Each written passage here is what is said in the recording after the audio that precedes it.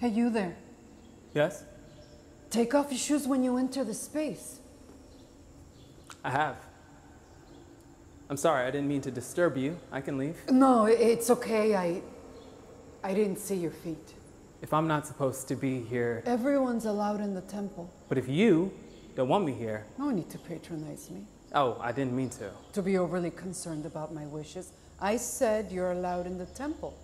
So do what you want. I'm just entering a space I don't know much about, so I'm treading with care. Please. Come in.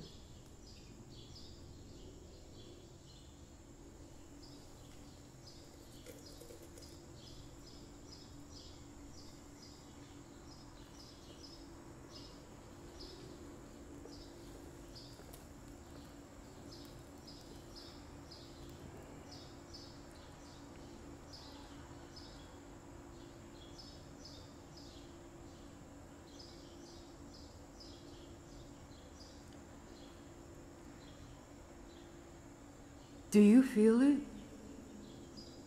Feel what? The night around us. Encroaching?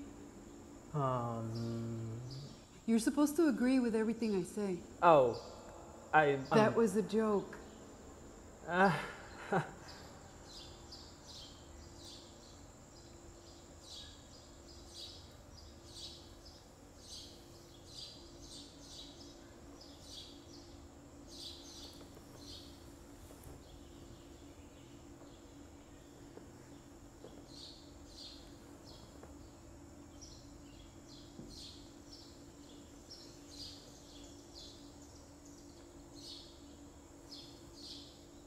well, I feel something encroaching.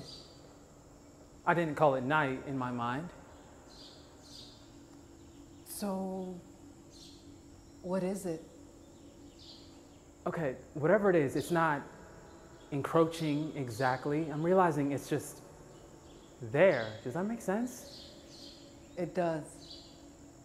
I can hear the sounds of the jungle, but this thing is also it's people and houses and cars and animals. How it extends beyond these walls. The walls feel thin now. Yes, I can feel the night air. Like we're not in a room at all.